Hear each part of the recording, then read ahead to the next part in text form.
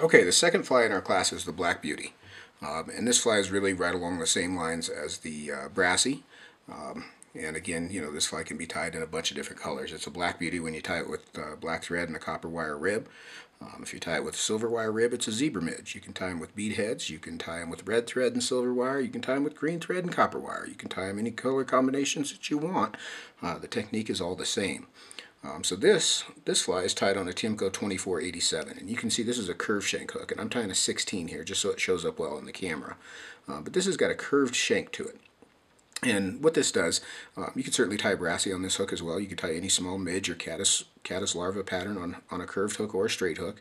Um, those bugs do move around. They don't have to be uh, only on one kind of hook. There's, there's options there for sure. Excuse me. Um, but we're going to tie this on this 2487 just for the sake of changing it up a little bit. I am going to use the same thread. Now in my book I used um, 70 denier UTC thread and that's perfectly acceptable. Um, it's a little bit flatter thread. Veevus 14 aught is, is newer than my book and I use this for a lot of stuff now. Um, this is a polyester thread but it lays pretty flat, uh, particularly for me tying left-handed. So um, it's going to create a nice smooth flat thread underbody or thread body on this fly so it's going to work fine. Um, so what I'm going to do here is I'm going to start my thread with my short little tag in technique, just about an eye length behind the hook eye. And I'm just going to make the jam knot, and I do not dress the hook on this. I know I just told you on the Brassy that almost all flies are dressed, and then we immediately broke that, that rule with the Black Beauty. So we're not going to dress the hook on this one. We're just going to start the thread behind the eye. Then we're going to take a piece of extra small copper wire. Um, and this is extra small UTC and I'm going to catch it the same way that we did on the Brassy. So I'm going to put it in that right angle. I'm going to come over the top and catch it with a couple of turns. I'll pull that end around to my near side. I'm going to turn this so you can see it. And then I'm going to try not to pull this out this time. I'm going to draw this down to length just in front of that last thread turn. Now I'm going to wrap back over this wire. Now this wire, the reason I don't have to dress the hook is this wire is much finer. Um, if I tied a brassy without the thread underbody, um, I'd end up with a, a, spot where the wire crawls and, and disrupts the shape of the body. Um, in the case of this fine wire, it doesn't have near the near the stiffness to do that, so I'm able to get away with no thread underbody here. The other thing that that does is it's going to help me keep this fly very thin. If you look at midge larvae, they're barely thicker than the hook, so we're really trying to keep this fly as skinny as we can. Um, this is a good example right here where it's showing that thread is laying pretty flat right now. You can see it's spread out flat like a ribbon rather than round like a rope, and that's what we, how we want to keep it. So I'm going to continue to wrap back over this wire, and I just sort of maneuver this long end uh, to keep it lined up along the near side of the hook. And I'm going to wrap back about halfway down the bend, and I'll tell you a good way to, to know where to stop here is when I get my thread back there, if I pull that wire forward, it's just about even with the bottom of the hook eye. So that'll tell you where to stop. You don't want to go way down around the bend. It does make for a, a really curved looking fly, um, but the problem with it is, is you start to, to encroach on the actual bend of the hook and the hook only goes so far into the fish. So um, leave yourself some hook bend there. And once I get there, I'm going to come forward again with a smooth flat layer.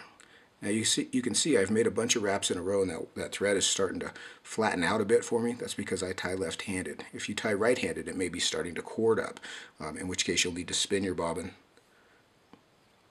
to flatten it out. People ask me all the time, which direction do you spin it? There's only two choices. If you spin it one way and it gets tighter, spin it the other way. So rather than trying to remember some rule of thumb, just keep an eye on that twist, and if you need to eliminate it, uh, spin the bobbin. So I'll come right back up to where I started and just let my thread hang there. So now, instead of the concentric wraps with the wire that we did on the Brassy, we're going to spiral wrap these, or palmer wrap them. Um, so the spiral wrap is evenly spaced turns, um, like you'd see on a barber pole. So what I'll do here is I'm going to bring this fine wire around, I'll reach around the hook point, and I'll angle that first wrap slightly forward. And I'm typically set at about seven turns. So I'm going to space these out as evenly as I can. For about seven turns. Now you could do yours with six, you could do yours with five, you could do yours with probably eight. Um, I don't like to get them too close together. You can see how that's created a nicely segmented body. Um, it seems like I'm set right at seven. It's almost always seven. I'll back up a turn of thread there. I'm going to switch the wire to my thread hand and cross the thread over behind it with two or three turns. And then with this fine wire, I'm just going to hold my bobbin tight toward me here I'll grab this fine wire and just pop it. It'll break right off. So we've got the body built. Um, if you tied a whip finish right there, you'd have a perfectly acceptable midge, and that's what a miracle nymph is, is white thread with a copper wire rib. Um, you can color the thread head with a black marker, and you'd have a miracle, miracle midge.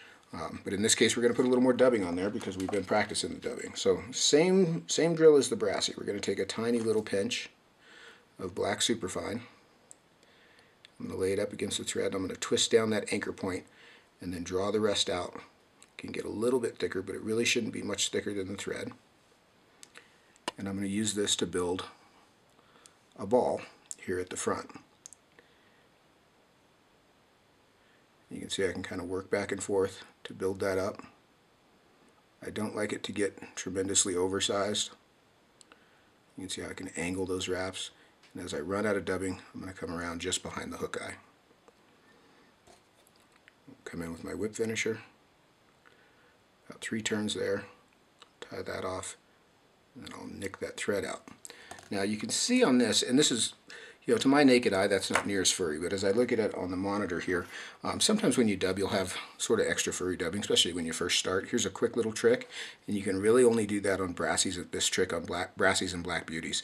Um, if you've got tails or wings or anything, you're going to screw it up. But what I'm going to do is take a cigarette lighter and light it and touch it to the dubbing, and you can see how that cinched that all down a little bit more tightly. So I've got just a little swelled head there, very reminiscent of a midge. Um, it's just a quick touch. Don't go crazy with it. You'll burn it all down.